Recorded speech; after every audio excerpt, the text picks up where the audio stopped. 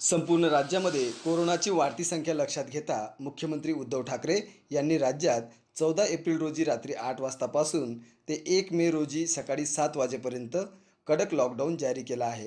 त्या अनुषंगाने जिल्हाधिकारी बुलढाणा यांनी आदेश निर्गमित केला आहे ज्यामध्ये अत्यावश्यक सेवा वगळता सर्वच दुकाने व प्रतिष्ठाने बंद ठेवण्याचे आदेश निर्गमित केले आहेत.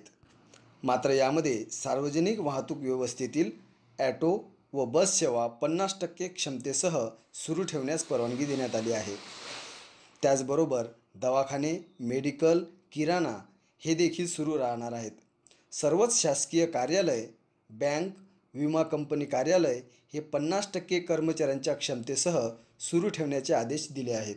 त्याचबरोबर हॉटेल बार रेस्टॉरंट यांना होम डिलिव्हरीसाठी मुभा देण्यात आली आहे. तर अत्यावश्यक कामाव्यतिरिक्त बाहेर फिरणाऱ्यांवर कडक कारवाई केली जाणार असून या लॉकडाऊनमध्ये जिल्ह्यातील नागरिकांनी सहकार्य करावे असे आवाहन जिल्हा प्रशासनाकडून करण्यात आले आहे.